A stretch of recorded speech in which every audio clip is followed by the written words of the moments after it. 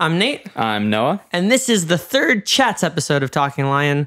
This is more or less where we're breaking down our week and our life uh, outside of all of the artist interviews that we're doing. Not only are we breaking down the week, now we're just breaking our own structure because originally we were going to put these out in between artist episodes. But in this quarantine, to our surprise, we have gotten more interviews than we expected. And there have been more milestones for the artists that we have been interviewing. So we're changing our schedule a little bit. This is probably going to come out on a Wednesday. So you're just going to get more of us. And there might even be other stuff. There might be Gaming Lion. Who knows? Who knows? So there's just going to be a lot of us. And if you're Whether not you sick ask of for it or not. whether you asked for it or not. But if you happen to ask for it, you're in luck because there's a lot. And if you really, really like us, we have a Patreon. That's patreon.com slash talking lion. And if you subscribe, there are a bunch of rewards. You could even be on this show. You Well. might even get art with your face. There's all kinds of stuff. So check that out. Not only will you be supporting the show, but you'll be supporting the community because we pledge half of whatever we make on Patreon goes directly towards other artists and the other half goes towards keeping this thing afloat. So go to Patreon, and uh, without further ado, This is Talking Lion.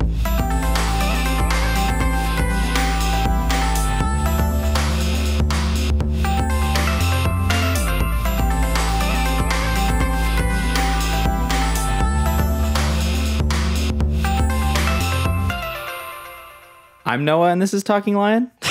My name is Business Fish, and this is Talking Lion. I like that. Yeah. Do you remember what Business Fish actually came from? Peter. No, it was a Facebook sticker set. Oh Remember right, those? it was Like, it was the it was the it was a fish in a suit. well okay for some context. Business Fish was like because when we first started Sleeping Lion, you had a you had a like a solo project called Business Fish. Yeah, spelled really pretentiously B Z NZ? Fish, Yeah. just so that that would be the same number of characters, so it would look cool on a logo. I remember you did a James Vincent McMorrow cover. Yeah, that, that wasn't really under Business Fish. Business Fish was supposed to be like an all instrumental electronic project. You had a, a whole 808 tribute. Yeah, that was probably the coolest thing I ever did with it. Was on 808 at 808 on SoundCloud. I posted a track made exclusively from an 808 drum kit. We were on some like pretentious like audio nerd shit at that time though. Remember I wanted to make a, record that was 4 seconds long and you had to like each song would be the the time it was supposed to be. Like that was the title. Like a song would be 310 but it'd be 1 second and you had to like elongate it out. But it also just wouldn't have worked. But I wanted it to work, yeah, but it wouldn't have worked.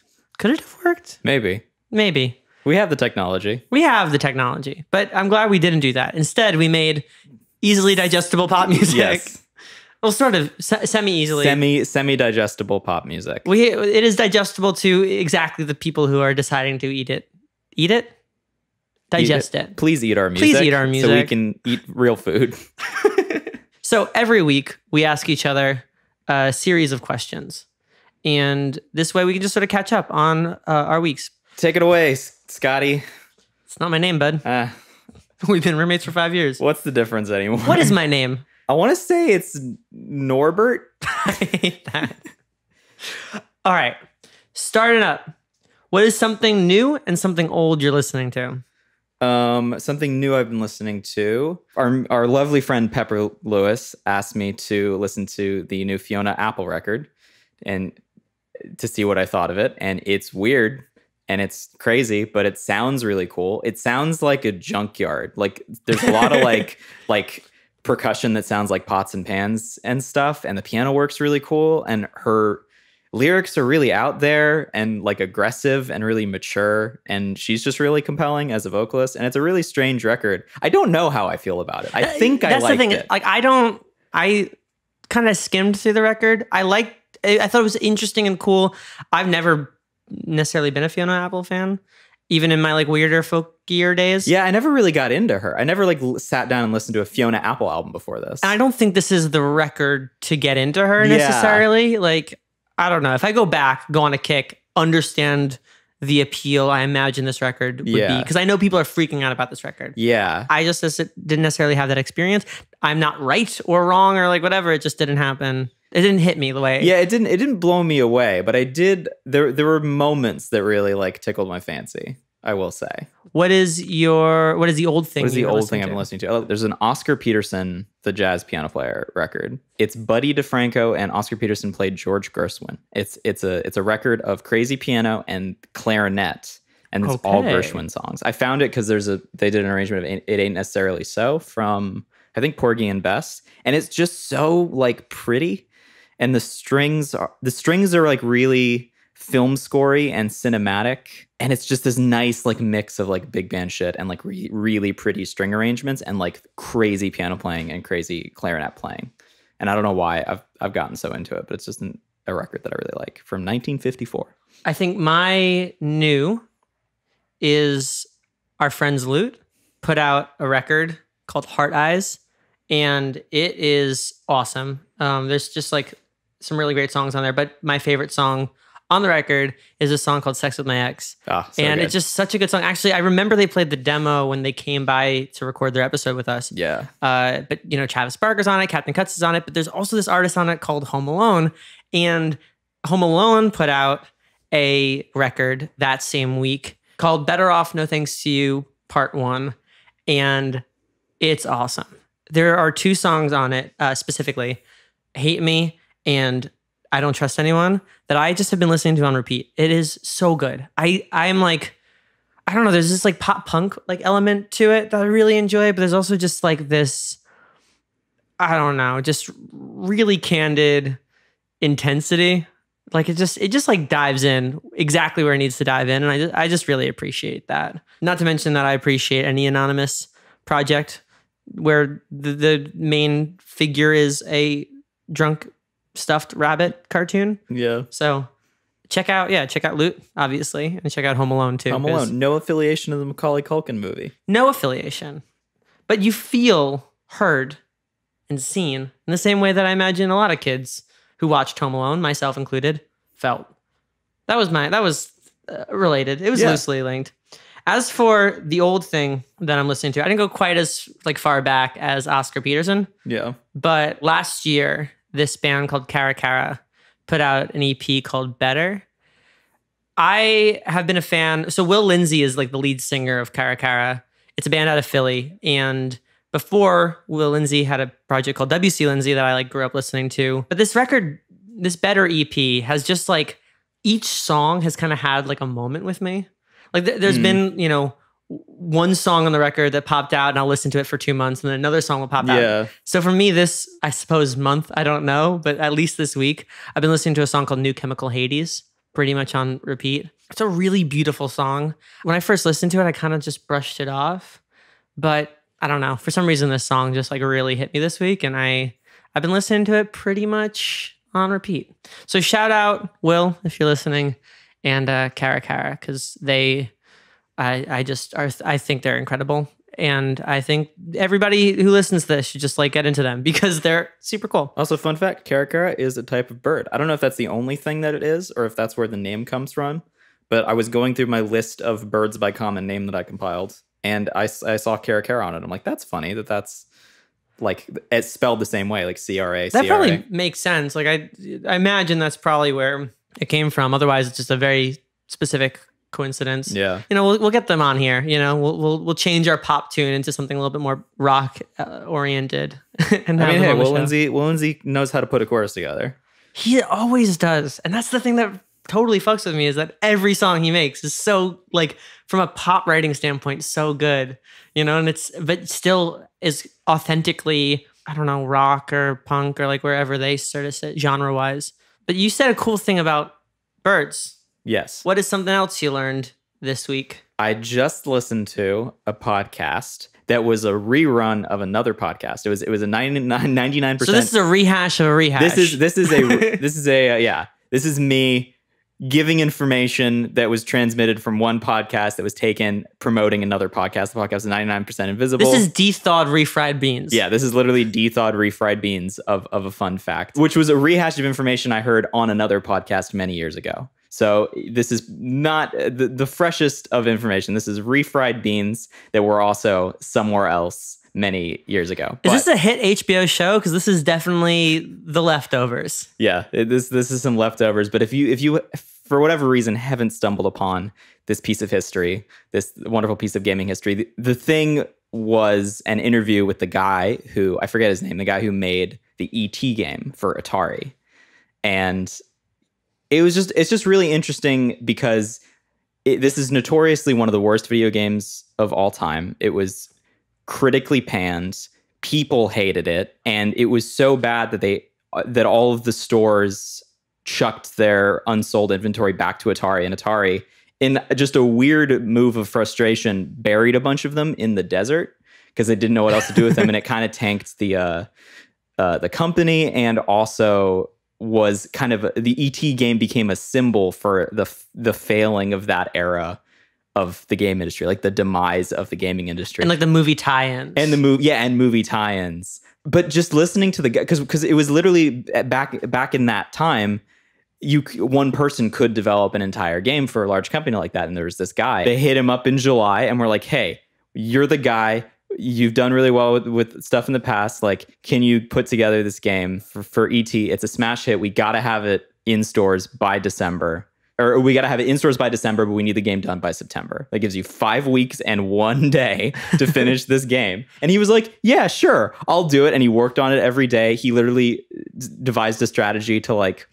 he would work on it until he got stuck and then fall asleep and try to solve the problem in his dreams. Like he literally devoted every hour of his life to putting this game together and he delivered it and they were like good job. Like you did it. Like they had no idea there was no qa or yeah there was no qa like they, they also i think they didn't even know that they were putting them un, under a ton of pressure. They just they were just looking at the timeline of the year like all right movie came out was a big hit like it needs to be in, in stores before christmas because that's when everyone's going to buy it and also uh, it just took them a really long time to sign away the film rights. So it, it left them with almost no time.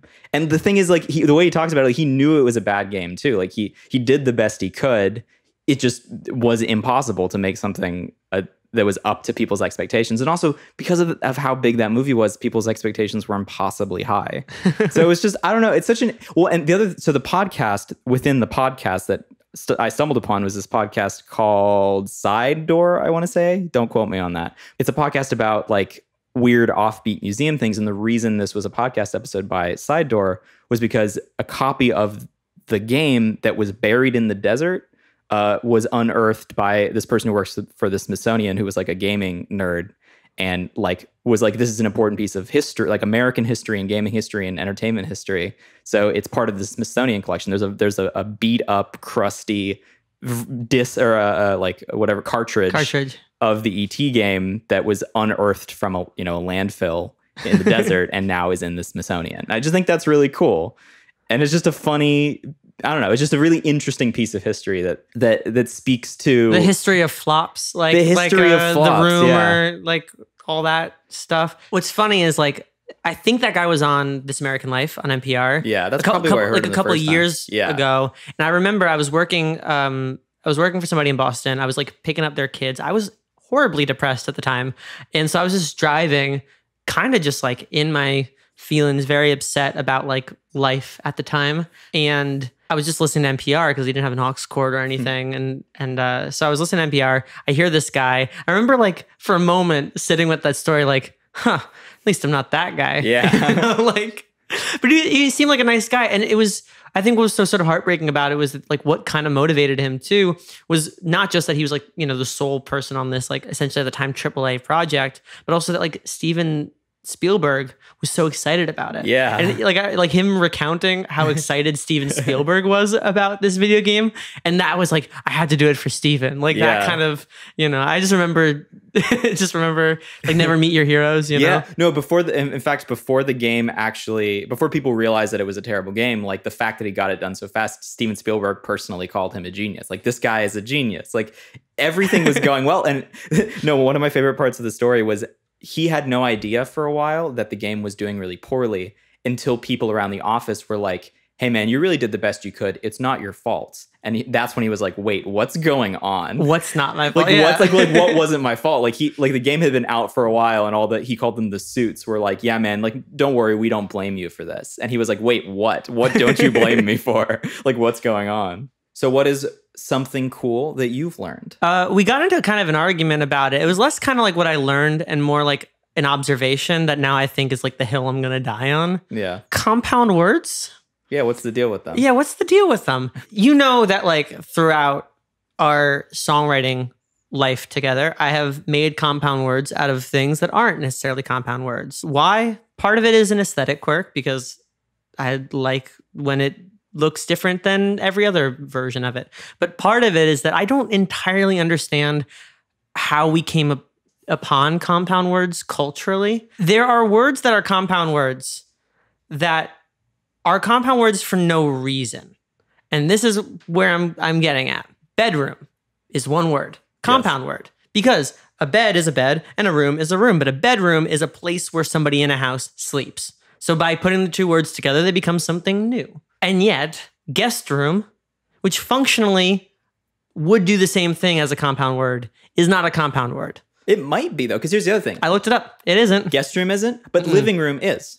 Living room is classified as a compound word. Is living room classified as a compound word? Because I, looked it up too. There are things called, th- there's three types of compound words there's open, closed, and hyphenated. And open compound words are considered compound words, but there's a space between them. But they're still classified as a quote unquote compound word. Uh, My issue is with open compound words. So you don't think they should exist? I think that they sh- there should be a codified reason as to why they Yeah. exist. Which I don't think which there is. there isn't, and I don't imagine that we're going to change that No, on our think it's gonna podcast. But it would be very nice because compound words, obviously, being when two words come together, they become a different thing. Yeah. Horseshoe, you know. But I, I do have an, an issue with how that works. Similarly, storyteller and storytelling are is a compound word, but storytell isn't. You know? Whoa. I never Yeah. thought about that one. Yeah. You can't. Yeah. You can't story tell. You can't story tell, which I'm sure has some sort of Latin or Germanic or Anglo whatever reason. But I just I think that if we're going to combine some words and not combine other words, because you know you can find living room in the dictionary, like it won't just be like living and room. You'll find living room in the dictionary. I just think if we're going to combine some compound words and not combine others, we should have a reason. You know, but you said while we were having the argument that like trying to have any kind of like consistency in English would be a nightmare. It, like it's im- almost impossible. But I just would like in this one space that there could be some consistency. Although it, I had, I was having this thought a couple days ago while, while thinking about this. I'm happy that this lingered with you as much as it lingered with me. Yeah. No, it really, it really has. Because I was, I was thinking about vowel because I uh, the the, the consistency main thing mainly ma- makes me think about vowels. There's a really cool YouTube video where a guy goes through a paragraph of text and slowly locks all the vowels in English and makes it so there's only one way to pronounce every vowel in the English language. And, and he slowly chips away at all the weird edge cases and how he pronounce vowels and how he combine vowels in English. Uh, and more and more, the language sounds like uh, something Scandinavian or something kind of like otherworldly or like Elvish or something. I only learned this. This is this is a cool thing that I learned. I only uh, recently in the last couple months, for a family friend of mine who speaks a bunch of languages was talking about Italian, and she just said, "Oh yeah, the vowels are just i e o u," and I was like, "That can't that can't be true. Like, there's no way that that every single word in the Italian language is pronounced a e o u." And then I went through in my head and tried to find an, an exception, and I couldn't. Italian is completely consistent in how they pronounce vowels. English is not at all. But here's here's what I'm getting to. I think that English is a wildly inconsistent language. It's a mess. It's got words from French, it's got words from Latin and German. It- It's got crazy combinations of letters. It's got it's got no consistency. It's it's a total if you look at it on paper, the rule it's one of the hardest languages to learn outside of languages like Chinese that have like pictograph like the, where you have to learn a whole other alphabet system just to get a point of entry into the language. It's really opaque in some ways on paper. But I think that's part of what makes it beautiful is that it's such a janky language. I think part of its utility is that it's really varied in in how it's put together. Well, and that is, I was thinking about that the other day. I believe there's like 14 different vowel sounds. We have we have uh, a e i o u. We have five vowels and sometimes y, but uh, they're like 14 vowel sounds and combinations. Where we are inconsistent is how you know if you, if you put out if you order these letters between consonants or like whatever, how are they reacting? That has been inconsistent. But what's interesting is that you know it's not like we're going outside of our 14 you know sound spectrum that was something i was looking up when you know when it came to songwriting because you have to know how certain and and what's funny i was thinking i was thinking specifically about don't like me Mm. and about how i don't like me either you know, you got three I rhymes going on, and that's why I wrote it because I liked having that internal rhyme scheme going on. But I have also in songs that we've written, either for us or for other people, I've used either Yeah. when it works for me.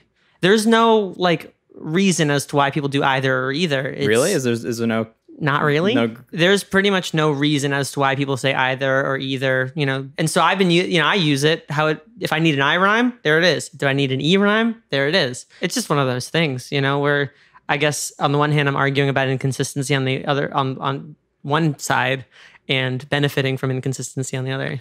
But it's it's also it's interesting because it's just the thing with compound words is at a certain point a compound word like two two words that mean something different but are put together are still like living room is still classified as a Yeah. compound word. And it's an inconsequential argument. I think it's just, well, it's a purely aesthetic. It's, Yeah. it- like it actually, as far as songwriting goes, it doesn't make a difference. No. It's, it's it's it's purely a notational thing. It's purely how we put those words down on paper. yeah, I think it's just more, yeah, a, sort of visual frustration. But also, like, like I, I think my brain just needing a kind of order. Yeah, Like, oh, okay, if these two things are are inherently changing the meaning of each other, why can't they just be together? You know, or whatever. why can't they just be together? Why can't they just be together? It's like Romeo and Juliet. it's That space between living and room. It's just it's just it's just too much to cross. They Yeah. are star crossed. star star crossed vowels, phonics. yes. These star-crossed is a is a compound word, but it's a hyphenated one, right? Like star-crossed, you wouldn't stick together without the hyphen. Yeah. What's the deal with that? What is the deal with that? what is a movie and a TV show that you've seen this week that you want to talk about? Uh, what's a movie? Watched uh, Howl's Moving Castle for the first time. You saw right. That was the first That time was the first time I ever watched that movie. Strange movie. Yeah, I, I, I, as a kid, I always thought it was beautiful. I think as an adult, it's a bit more confusing.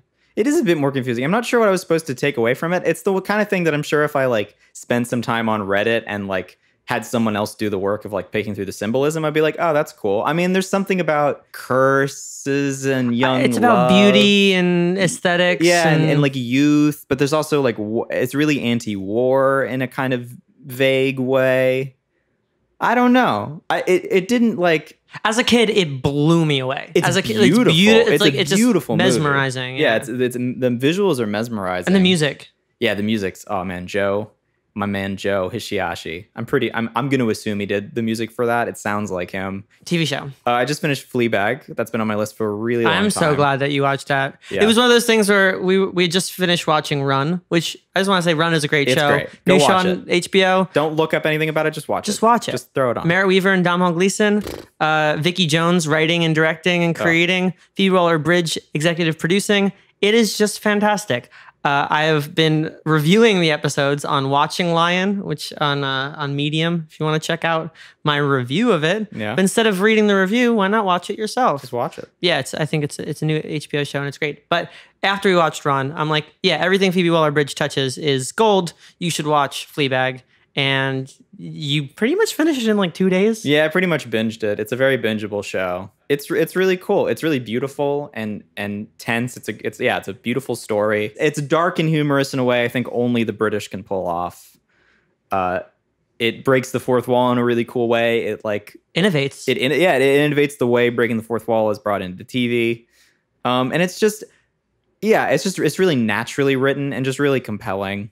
And it just makes you think about life and sex and death and all the stuff that good art is supposed to make you think about. in that vein, we kind of went on a few Waller-Bridge kick and started watching Killing Eve together. Killing Eve. Oof. And that, I think we like made it through. And this is, I mean, you know, Fleabag's a 20 minute uh, per episode show, but like Killing Eve is like 45, 45 minutes. minutes. Yeah, we're- we, I think my favorite part about watching it with you is that we did not talk between the episodes. Yeah. Like we just let, Just let it let go. run. Like there was not, there was a silent agreement that we would only finish watching when one of us was like, yeah, I'm going to sleep. yeah. Like we we weren't like, oh, do you want to watch like another one? It was like no, it's it's no que- like there's no question as to whether or not you want to watch another episode of this show. it's whether or not you should get like It's a like a not- full yeah. night's sleep. Yeah. it's so good. it's so And, compelling. yeah, she you know she writes she created the show. She's she writes a whole bunch of the episodes. It is such a great show. Sandra Oh is amazing. Jodie Comer is amazing and chilling and terrifying. Oh, man. And like the music supervision on that show is Oh. top notch. it's just such an amazing show. Uh, that is I think on Hulu. Yeah, it's on Hulu. Yeah. It's a BBC America show. It's a BBC America show. So yeah, we've been just more or less this week on a Phoebe Waller-Bridge kick. we Um, watched the play. We watched the Fleabag play. Oh, yeah, we watched play. the Fleabag play. It was really interesting. That was great. Made yeah. me nostalgic for the theater. And just going out and I think And just doing yeah, go, gatherings of fifty plus people. I got sort of anxious like watching uh, the Fleabag play because you know she's talking about going out, she's talking about interacting with people. I'm like, wow, like when's the last time? I, th- I think it's interesting that that the the one piece of content that doesn't actually depict people doing normal things is the one that made your brain go there. yeah, Like wa- just like watching like Better Call Saul didn't make you feel that no, way. no, no. It was it was the idea. I think actually, if I sat and like watched Flea, like rewatched Flea, Fleabag with you, I probably like the show. I would have felt similarly. But it's the fact that like what Fleabag is is her learning from experiences with other people. Mm. And what I love about, especially what they harp, like what they really play on, she's talking to this guy Joe. He's like, hey Joe, what's the problem? And, and he goes, uh, you know, just people. And she goes, uh, oh yeah, I hate people. And she's like, no, no, no, it's that they don't realize that people is all we got. I think that that line and then how it sort of plays into the entirety of like the feeling of Fleabag. Fleabag is her like learning, a, learning through her interactions with people Yeah. you know whereas I, you know i feel you know you could say the same about better call saul you can say but it's it's such a world outside of day-to-day life you know it's like saul becoming saul whatever like that's a totally different world whereas Fleabag feels like our world. fleabag feels like our world and the lessons she's learning are lessons that i feel like we're also sort of grappling with yeah. you know sort of realizing that part of this like quarantine is like a stagnation of like an education Yeah. you know, which is a very cold way of sort of putting it, but but essentially, yeah, you are like there there are mistakes that we should be making right now, Yeah. or things to be learning, or you know, we've already learned a lot of lessons and we should be implementing them through friendships and dating and like whatever. And it's just it's interesting how that's all sort of. So I think that's why the show kind of made me anxious. Yeah, I know what you mean. My movie that, that I watched was uh, Never, Rarely, Sometimes, Always Oh yeah. which is Eliza Hittman's film. I- I'm a little late on watching it, but it's incredible. I mean, she, you know, she's always made these really powerful kind of slow burn films and it's it's a very important message. The way she holds on certain beats is really poignant. The film's getting rave reviews, but I think one of the things I really like about it is just how kind of documentary it feels. You know, the way that it's like it does feel just like we are watching this person. So there's no so there's not necessarily like a drama or dramatics or like whatever. It's like like this is life, you know, and this is this is a real struggle for people and we're seeing it played out in real time and those dynamics. I think it's really really powerful. I also I owe Eliza a lot. I knew her back in New York briefly, but she got me in touch with a guy named Gene Park who uh, is a sound designer, and he was the one who put me on my first features as a sound editor, and essentially sort of started my career in like film, which eventually led to this and LA and life and everything. So uh, I'm very grateful to Eliza, and uh, shout out to Gene, the sound designer, not on that movie, but he did the sound design for Bad Education, which just came out, which I'm hoping that we can watch and talk Yeah. about next week.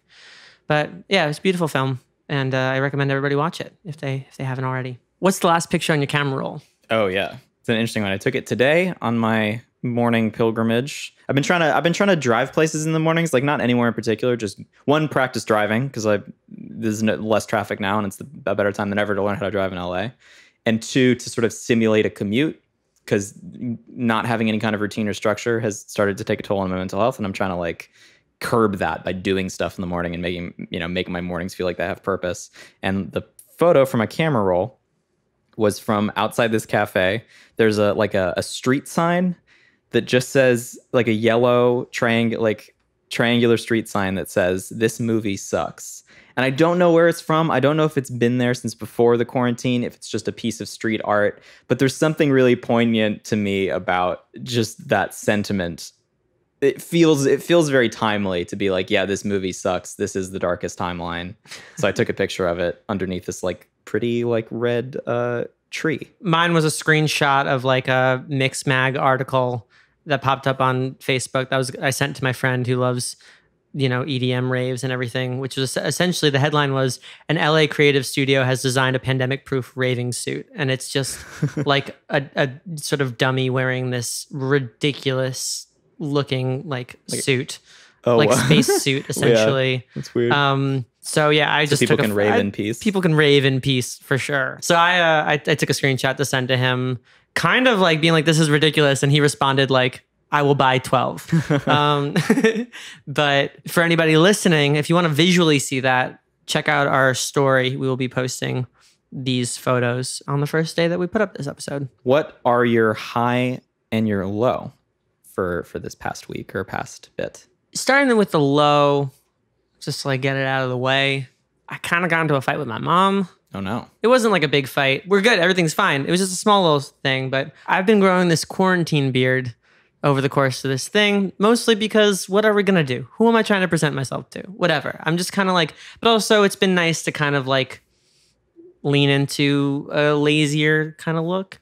And she was a bit critical of it. And I kind of got angry, not just for the comment, but because of like she's been somewhat critical uh, aesthetically, sort of my whole life. Um, she's been critical my whole life of like how I've kind of looked. Yeah, it's a mother's job. Yeah, and I got a Jewish mother, so it just sort of happens that way.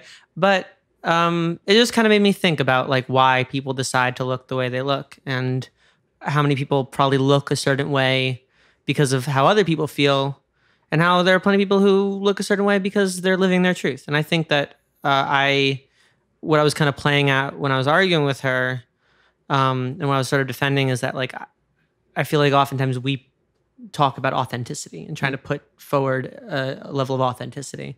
And I feel like part of that is how I look and kind of leaning into what I feel the most comfortable with, even if it doesn't necessarily vibe with everybody else. Because if I, yeah, if I started changing how I looked because of my fears of how I'm like perceived, then I feel like I'd be betraying like my, you know, call to kind of be as authentic as you possibly can. Similarly, I don't necessarily want to go out with or work with somebody who judges my uh, brain and my personality on like my physical appearance. Yeah. Mind you, I'm not going to be like completely disheveled because I don't like that. Yeah. But, you know, a little bit of a little bit of whiskers or like hair a little bit long isn't going to change my like ability to do my job or be a decent person.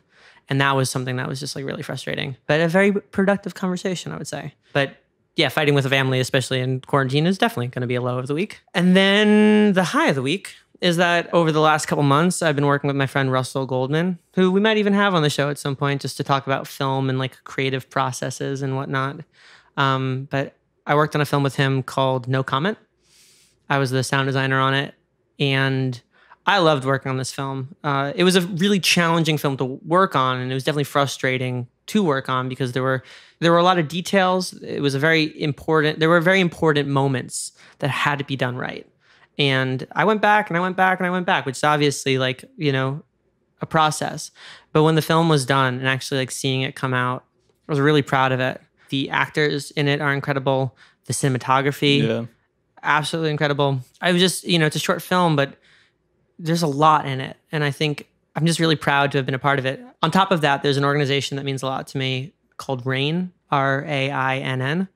And because the film was supposed to like premiere in festivals, but didn't, it just premiered online on um, filmshortage.com and was going to be a link that we'd be spreading around. I talked to Russell about promoting the film alongside a link to donate to RAINN, especially because the message of the film is in, influenced and inspired by the Me Too movement. And not only did he run with that and like talk to the crew about and cast about promoting the RAINN donation link, but he also talked to his collaborator Jamie Lee Curtis, who posted the film uh, alongside the RAINN link. So I'm just really that was a major high of the week. Not just the film coming out, but also having the film be an engine for a great cause. Especially right now during like the COVID 19 time, they're matching all donations. So it's like double the support for anybody who who does want to donate. And I urge anybody listening who connects with the cause to donate as well. So that was definitely definitely a high for me. Nice. What was your uh, high and low?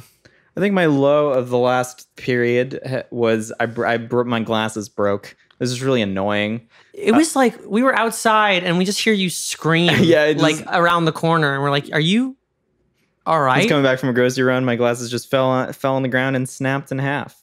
And it was it was a very like it's a it's a very small thing ultimately, but it was very. uh There's something about like coming to terms with the fact that without these pieces of glass, I can't like function normally as a person.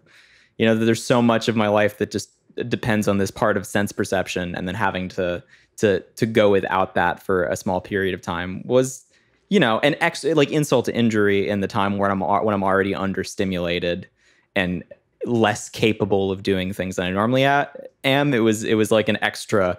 I didn't know I could feel any lower than this, but this is just like an it's like a little dig under the skin of like, well, yeah, if, if this quarantine wasn't bad enough, I also can't see. Well, you were saying like the you know the three things that you enjoy doing in the quarantine is like producing, playing video games, driving around. Yeah, It's like all of those require a decent amount of yeah.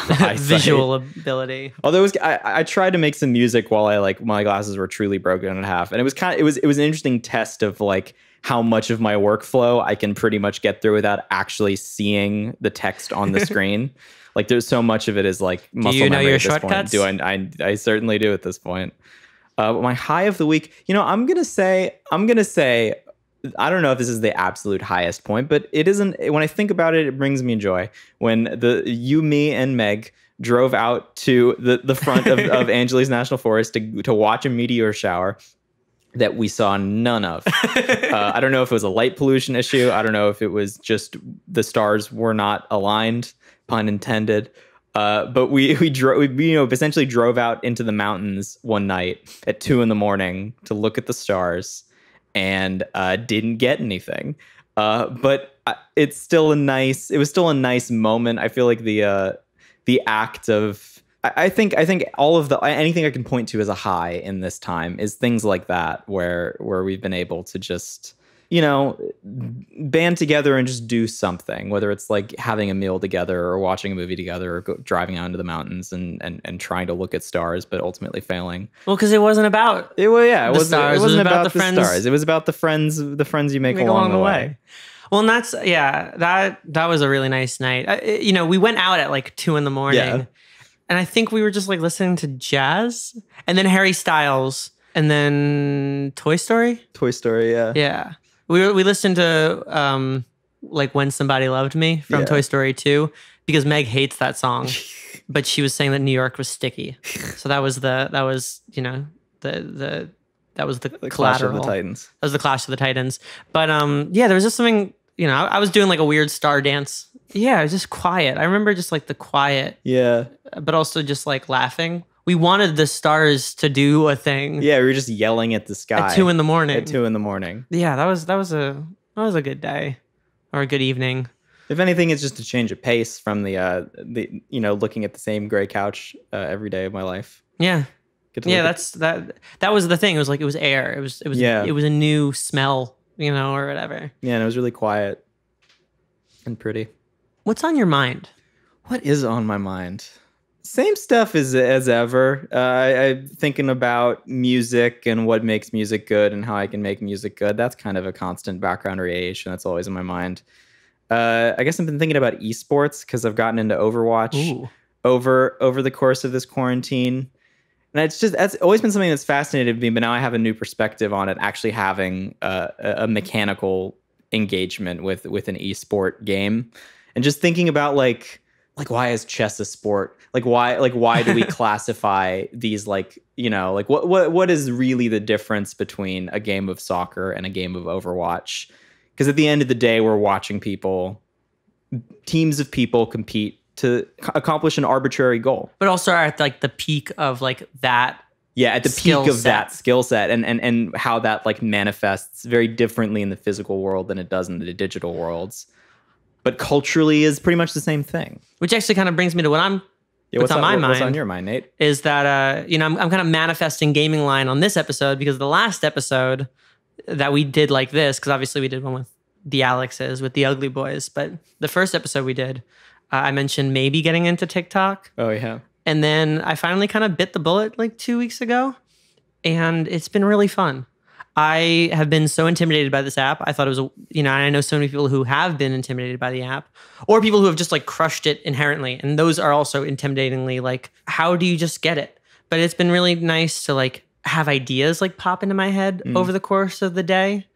Uh, or like scrolling through and being like, oh, that would be funny to like duet with, or like, oh, that would be funny to kind of like parody or like flip, or that would just be funny to do the same thing they're doing because that's what we're doing is like everybody's kind of repeating the Yeah. same thing because that's the the TikTok community. I've just been having fun like coming up with stuff and being like, okay, this is the idea.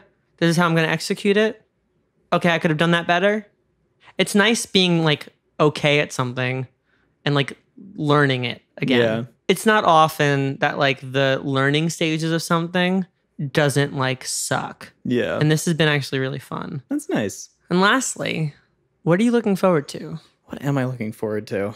I'm looking forward to finishing up the uh, this batch of Sleeping Lion songs that we have in the uh, on the back burner that we're we're compiling our, our quarantine mixtape. I'm looking forward to like having a record of stuff and putting out a record of stuff and and, and releasing like a a bunch of music that people can connect with at once. Uh, I feel like that that's going to be fun. I have you know a lot of my friends are putting out music now, and I'm kind of antsy to to join the pool of people who are killing it in the quarantine. So I'm I'm looking forward to that, and I'm looking for I'm looking forward to May 15th even though I have a sinking feeling it's not that the whatever ordinance we're in is not gonna end then and it's gonna get pushed back. I'm looking forward to like the first thing that changes. Like what I know it's gonna be small. I know it's gonna be a really long time before the world goes back to quote unquote normal or whatever version of normal we get to at, out the other end of this. But I'm looking forward to like you can go to a target or something. I don't I don't I don't know what the I, I don't know what the first step is going to be, but like honestly, when I can go hiking, when I could when I could actually go hiking legally, that's what I'm looking forward to more than anything.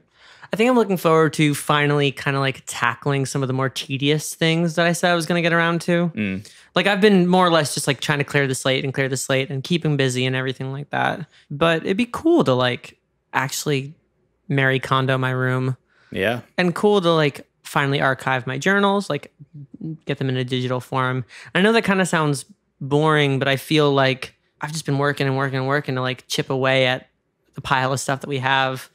And it has taken almost 50 days of the quarantine Yeah. to like get there. But now is finally like, oh, like, like here's here are the things you've really been putting off. Now is an opportunity to actually like interact with that. Also, I don't know. I mean, I, I am looking forward to Rick and Morty coming out and like all these random movies and TV shows and stuff. You know, I love like just consuming content. And I think I've just kind of gotten comfortable in this space. Yeah. Like, I miss the things that I miss are things that are like really down the line. Yeah. Like, I like you miss hiking. I, I can still kind of bike around the block and that Scratches the itch. that scratches the outdoor. I just want to hang out with a tree. You know what I mean? Like I haven't met any cool trees recently. That's the thing. I've never met a cool tree. Like me and trees, we have. You're missing out. We're, yeah, I get it. You know, you hug them. You know, I, I do. I, I never got tree hugging until I reached a certain age, and I'm like, oh, I get why that's the like. It's kind of a pejorative term, but like I I I, I get why that's a thing. no, I mind you. I, I love nature too. I just like, yeah. I mean, I guess I, I'd love to go visit my grandparents in Colorado because hiking there is like my favorite thing. I don't love hiking in LA because it just has always been a very Death- dry. death-defying experience. yeah, I feel like every time I've hiked in LA, I've either run out of water Oh yeah, that's or true. had a run in with a rattlesnake. Yeah, and both are just like I just don't want to be reminded of my own mortality, you know, while hiking. Um, that's like half the fun.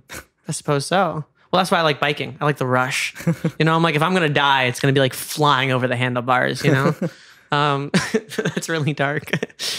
But yeah, so I guess the thing that like what I'm looking forward to is like going to bars with friends, and that's not gonna happen for a while. So Yeah. in lieu of that, I'm just like excited for because the the times I feel the closest to the people in this is when I can like call either when like you, me, and Meg are watching something, or you and I are watching something, or when I can like call my friends in New York or call like whatever, and we talk about the thing that we just watched. Because I mean, at a certain point, what are we going to talk about? At a certain point, we're not like day fifty-five. How how are you doing? Yeah. Same as day thirty-five. You know, same as day fifty when you called. But it's like okay, I've got two friends that are have two more episodes left of Better Call Saul, and I I can't wait to get on the phone with them because we can just talk about that for like you know a half hour, and I feel close to them, and and I feel like we we watched something together Yeah. and did something together, uh, you know, since in lieu of going out to a bar or something. So I guess that's what I'm looking forward to, and I'm looking forward to seeing what happens to No Comment Mm. to that film.